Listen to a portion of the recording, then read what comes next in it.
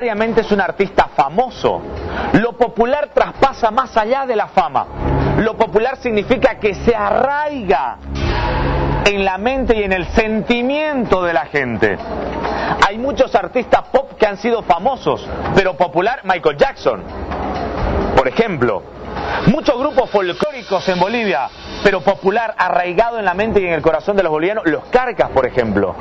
¿No? Entonces, famoso no necesariamente tiene que ver con lo popular. Pablo nos preparó el siguiente video musical. Arrancamos. Fenómenos artísticos. El gusto por lo popular está creciendo. Bienvenidos. comenzó la semana. Dale.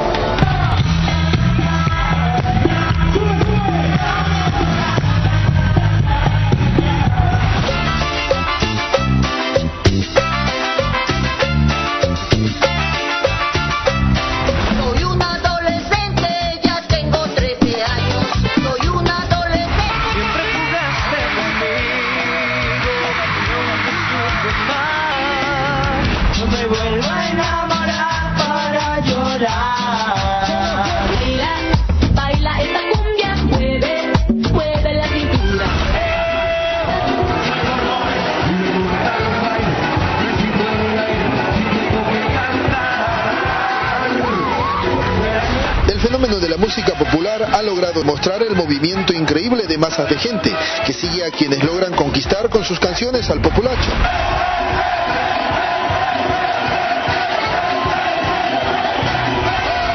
Muchos recuerdan también a Selena por su movimiento tropical.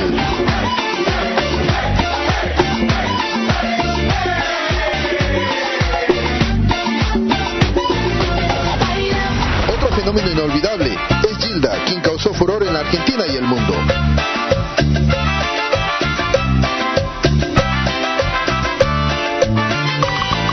Jamás la lógica del mundo nos ha dividido. Mi futuro tan incierto nos ha preocupado.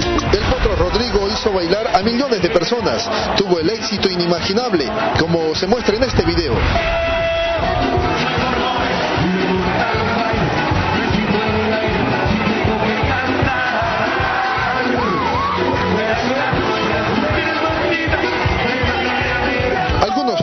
Se niegan a aceptar que sus artistas dejaron el mundo y tratan de inmortalizarlos venerándolos, colocando altares con velas.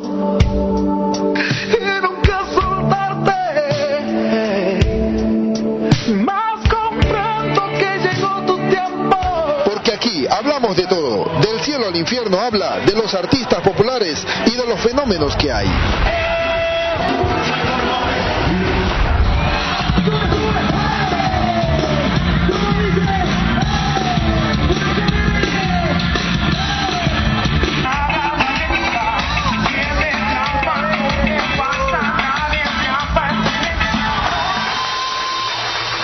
Fenómenos artísticos populares. ¿Cómo estamos en Televoto, niña? Por favor, dale. Participe de nuestro Televoto, es fácil. El artista popular nace o se hace. Envíe la opción número uno, nace. Opción número dos, se hace al 42142. Empatado nuestro porcentaje. Niña, ¿vos crees que el artista que es popular, el que se mete bien en el corazón de la gente, nace o se hace? Lo hace, la gente lo hace. Ah, la gente lo hace. De forma, o sea, es la construcción de un ídolo popular. Se construye. Exactamente, es popular cuando la gente los apoya. Ok, la gente que quiera comunicarse también puede hacerlo a través de nuestras líneas telefónicas, mensaje de texto de su aparato celular. Ya nomás usted nos dice, Pedro, yo creo esto, y opine. Hartos artistas populares. Selena, fallecida ella, pero todavía su música continúa. La pones en un lugar la música de Selena y la gente la baila, la gente la canta y dice, ¿qué pasó con Selena, Dios? Avi Quintanilla sigue cantando algunos temas de Selena, por ejemplo. ¿ah? La imagen de los Cumbia King crecen detrás de Selena. Interesante, de verdad. ¿ah? Son inmortales. Señoras y señores, quiero presentar. Está con nosotros Rubén Villarruel, productor general de la 755. Tiene 40 años. Ha creado el grupo en el año 2008. Es el padre de Mau, vocalista del grupo. Fuerte aplauso. Muchas gracias, Rubén, por estar con nosotros. Mariano Celaya. Ustedes han escuchado de la movida de la cumbia de la bailante argentina, pues sí, él es reconocidísimo en su país y es además el productor y manager de Ángela Leiva. Él es el culpable de que todos bailen la canción de Ángela Leiva en Bolivia.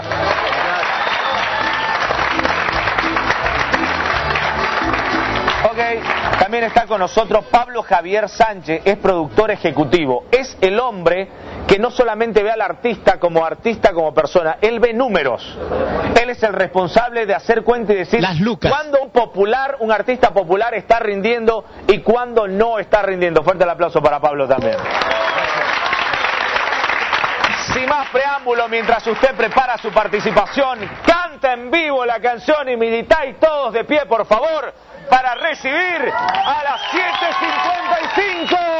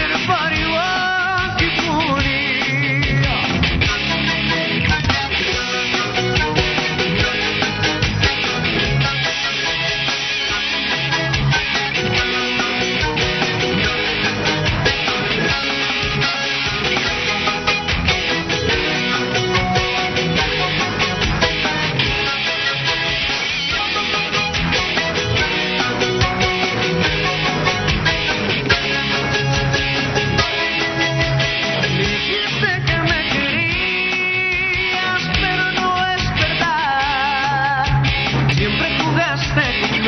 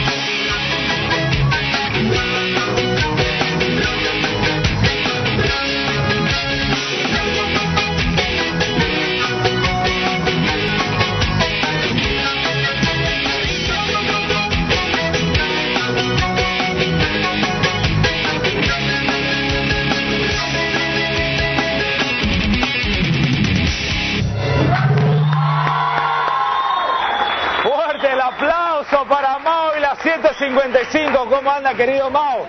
Bienvenido. ¿Cómo anda, campeón? ¿Todo bien? ¿Cómo estás? Encantado de ¿Cómo está el grupo, chicos? Bienvenido, muchísimas gracias. ¿Cómo andan los saludos? Los saludos rapidito. Increíble, la verdad. Vente, Mao, por acá, por favor. Toma asiento. ¿Le gustó, sí o no? ¿Sí o no? La gente lo aplaude allá. ¿Hace cuánto que no nos veíamos con Mau? Increíble. Bajan un poquito, poquito. Ahora sí tenés que bajarlo porque. Ahora sí, ahora sí. Claro, ahora sí tienes que bajarlo. Cuando estaba cantando tenía que reventar. Ahora sí. ¿Cuánto tiempo lo conozco a Mau desde hace tres años? Dos años más o menos, dos. Hay una fotografía que habla de la relación, digo, con Mau, artísticamente hablando.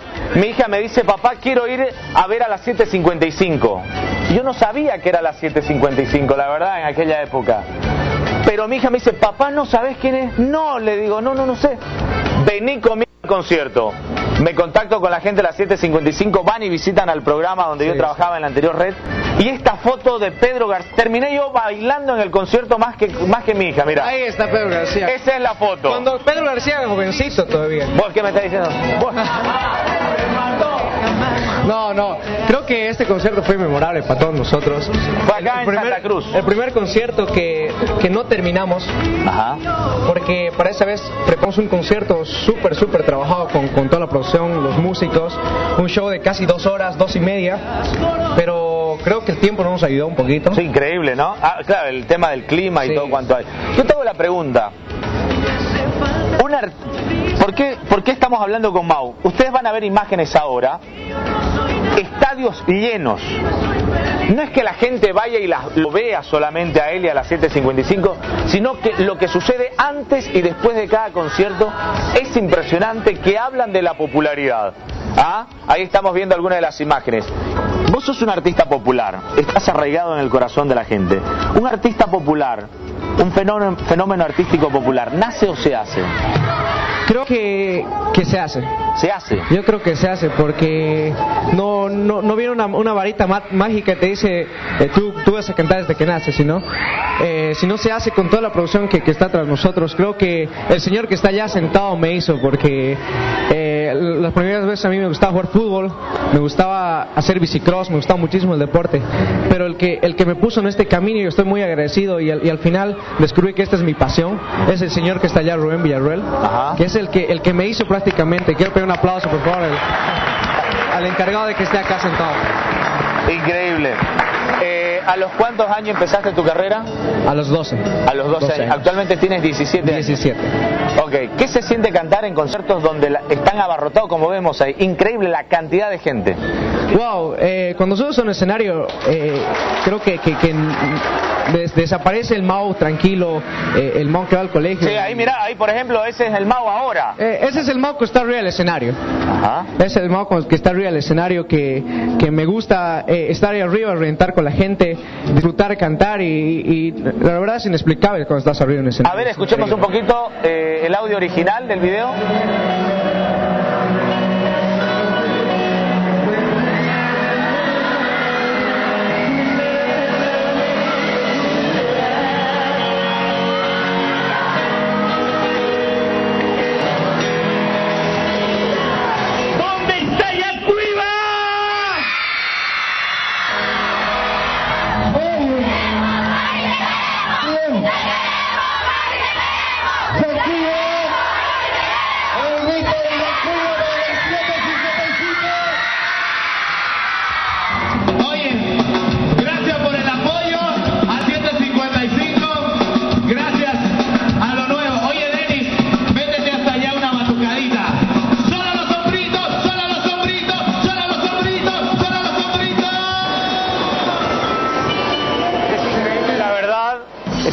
Yo le pregunto, es su representante artístico, es su manager, pero además eh, de ser su mentor musical, es su padre. Él lo maneja empresarialmente, pero como padre.